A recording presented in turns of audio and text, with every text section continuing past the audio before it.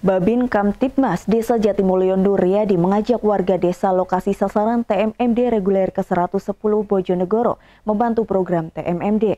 Nuriadi meminta keterlibatan dan keikutsertaan warga dalam mensukseskan program TMMD. Demi suksesnya program TNI Manunggal Membangun Desa TMMD reguler ke-110 Kodim 0813 Bojonegoro dibutuhkan sinergitas dan gotong royong antar TNI dan warga. Disampaikan dalam rapat koordinasi di Rumah Kasun Jatimulyo, Nuryadi selaku Babin Kamtipmas Desa Jatimulyo mengajak warga untuk ikut serta membantu program TMMD agar berjalan dengan lancar.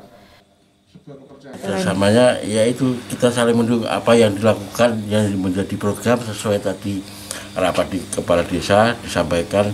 Ya kita dukung 100% di situ mengajak diharapkan bisa mengajak warga untuk saling membantu supaya proses pelaksanaan pembangunan ini bisa berjalan lancar dan tepat sasaran sehingga bisa membantu kebangkitan warga untuk lebih maju. Dengan adanya program TMMD reguler ke-110 di Desa Jatimulyo, diharapkan dapat membangkitkan kesejahteraan masyarakat. Dari Bojonegoro, Jawa Timur, Tim Liputan Rati TV memberitakan.